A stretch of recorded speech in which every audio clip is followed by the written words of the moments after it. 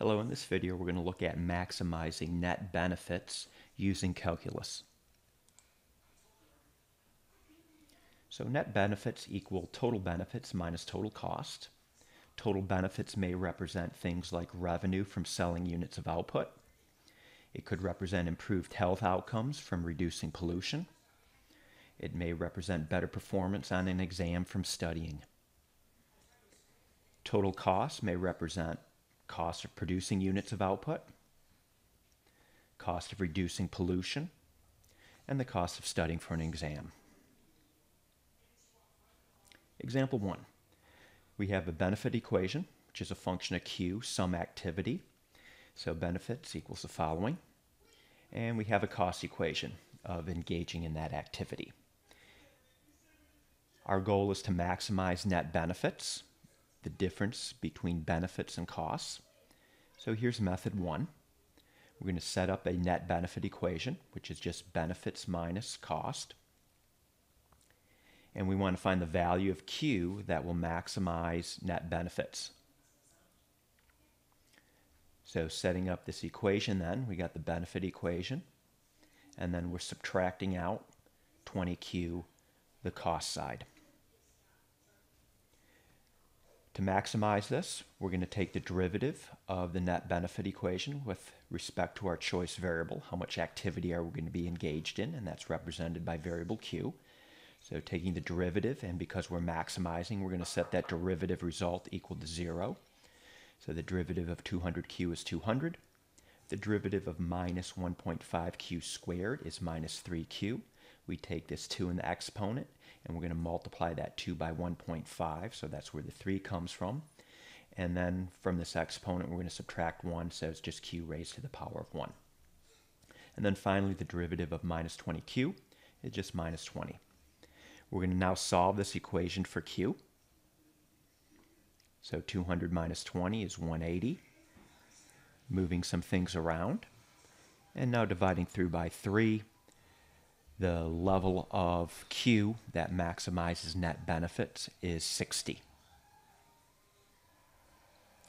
Another way of solving this problem is to use marginal analysis. So to maximize net benefits, we can continue to do an activity up to the point where the marginal benefit equals the marginal cost. What is a marginal benefit? The change in total benefit from doing one more unit of an activity and it can be calculated as the derivative of the total benefit equation. So taking the derivative of the B equation, the benefit equation, with respect to Q. As for marginal cost, it is the change in total cost from doing one more unit of an activity. It is the derivative of the total cost equation. So marginal cost is the derivative of the C equation with respect to Q. Keep in mind that anything in economics that has marginal in its name is derived through a derivative. So a derivative is nothing more than a marginal concept. So to maximize net benefits, we're going to set the MB equation equal to the MC equation, setting those two derivative results equal, and then solving for Q. So let's show that numerically. So the same benefit and cost equation that we started with, let's first get marginal benefit. So the derivative of 200q minus 1.5q squared is 200 minus 3q. And the derivative of the cost equation just gives us 20. Setting MB equal to MC, solving for Q. You'll recognize that we saw this answer before. So Q equals 60. 60 is the level of the activity that maximizes net benefits. If we want to, we can calculate the size of those net benefits at 60 units of the activity by taking this 60 here and plugging it into our net benefit equation. And we get 5,400. All right, let's do one more example. Example two. Slightly different benefit equation, slightly different cost equation we can set up the net benefit equation as the benefits minus the cost. So we've got to be careful here. We want to subtract out the entire costs. So a lot of times I'll put in the cost equation, I'll first put it in, in in parentheses and then have a minus in front of it, and then I'll distribute the minus sign to make sure I don't make any uh, sign errors.